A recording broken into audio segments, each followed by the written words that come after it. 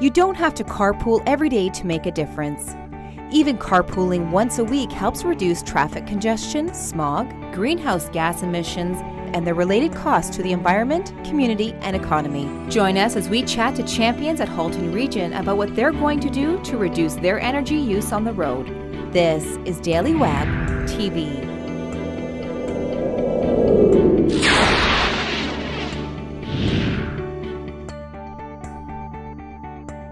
What inspired you to be part of this program? Well, the drive to work became long and boring.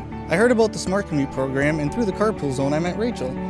Now I have company on the way to work, I'm saving money, and there's one less car on the road. Rachel, with Michael now picking you up, how do you make it work? Well, at first I thought coordinating our schedules would be really difficult, but once we got started, it was really quite easy. And now I think it's a great way to commute to work. It's simple, convenient, and the best part is Michael picks me up right at my front door.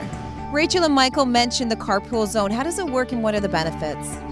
One of the signature services that Smart Commute offers is access to the carpool zone. The Carpool Zone is a free online system that matches employees with other employees within the same company or to match other people based on geographic location. In just five years, the Carpool Zone has saved over 24,000 tons of greenhouse gas emissions, which is 200 tons per month, and takes 15,000 cars off the road across the Greater Toronto Area.